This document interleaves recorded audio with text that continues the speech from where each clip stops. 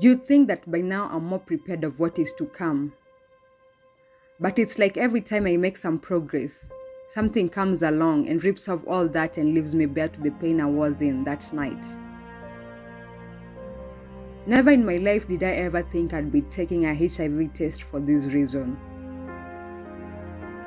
I mean, right after it happened, I managed to get myself some P2 and some pep drugs. But what if it didn't work? What if he had the virus and it turned out to be positive? I thought escaping the pregnancy scare was enough, but this, this is something else. God, I hate him. I hate him with every fiber of my body. The most frustrating part is every time I remember him, it's like I'm taken back to that night, reliving it over and over, unable to escape the shackles that are keeping me there.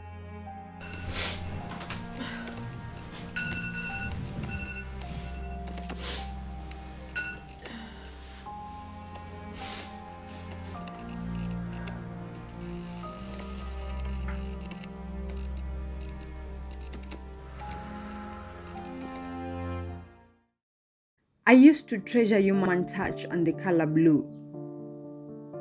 But now I despise both those things. Things that used to bring me comfort and love now only bring me sorrow. They no longer provide me with that feeling.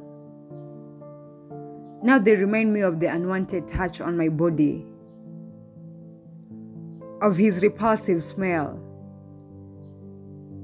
of the pleas that were ignored. Now they remind me of how broken I really am.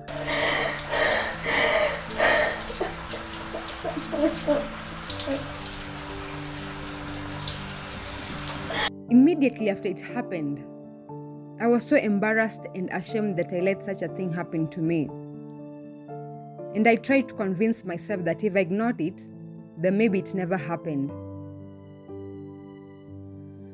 I didn't want to tell anyone because I was afraid of the backlash and the ridicule I could face.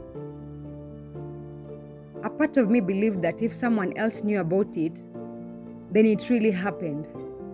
And that was something I was not ready to accept.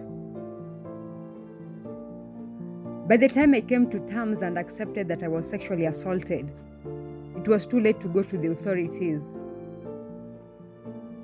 I didn't have any evidence that indicated I was assaulted. And I knew that my word against his couldn't suffice. I was so afraid to be judged and blamed by people if they came to know that it took me a long time to be comfortable enough to share my experience with my family. There were days when I just wanted everything to go away. During those days, I yearned to experience prolonged moments of nothingness because it was better than living in a constant reminder of what happened to me. I wanted to let it all go, and in those times, I contemplated ending it all. I spent days and nights crying. I became detached from life and myself. I didn't care what happened to me.